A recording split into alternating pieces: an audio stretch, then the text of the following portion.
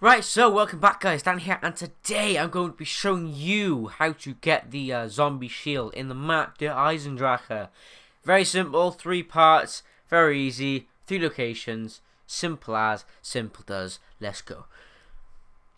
So the first part is going to be this, for each part, they're all going to be by the dragon. I haven't done it because I can't bother with minute, I'm just going to do this short video. But anyway, guys, each each part will be by the dragons. So as you can see, I've already turned the power on.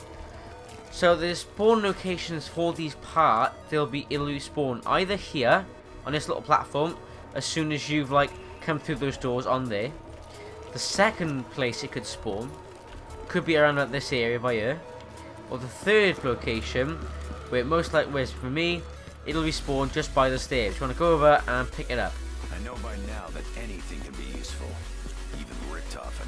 That's the first part. Right, so next part, I will meet you over there in just a second.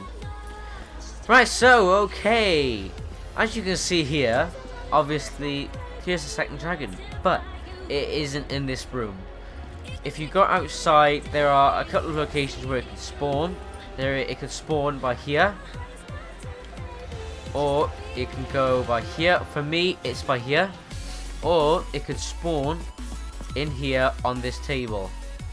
Uh, yeah this table. It could spawn right here. Obviously for me it's down here so I'm gonna go pick it up now. Da, da, da. got it. Bang. You know the saying, see a penny, pick it up. All day long, you'll have a penny. that is the second part. So next part what you're gonna want to do is head over down to the last dragon area down here Right. And it'll be now I from where I've joined game or when I've played games, it's always spawned on the wall. As there you go. Above pack punch, there it is on the wall. Now in order to get this bit, you are going to have to activate all the pads by here. So I'll be back to you once I've spawned all these. Trying have this little joke of following me all day.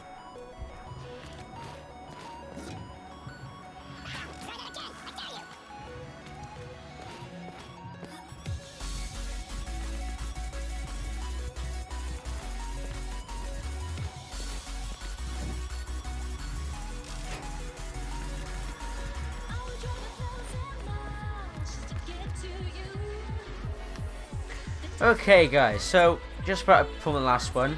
The last one by here. Here he comes, here he comes, here he comes. There you go.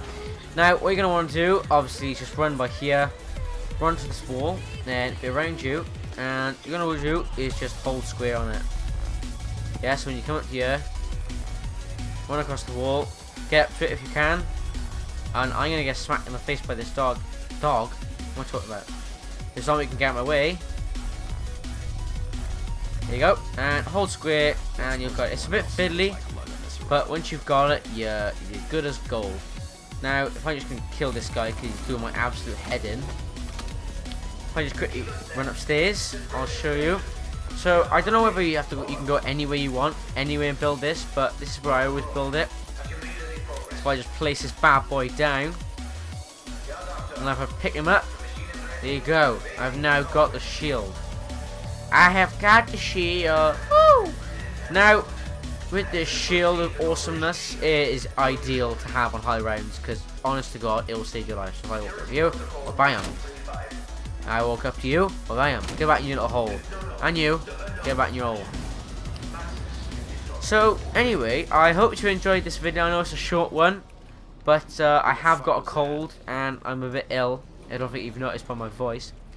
So anyway, guys, I hope you enjoyed the video. If you did, make sure to leave it a like. Also, comment on what tutorials you want me to do next. And also, click that subscribe button for more videos. So I will see you guys in the next one. So thanks for watching, and goodbye. Boom, here you go guys. Now,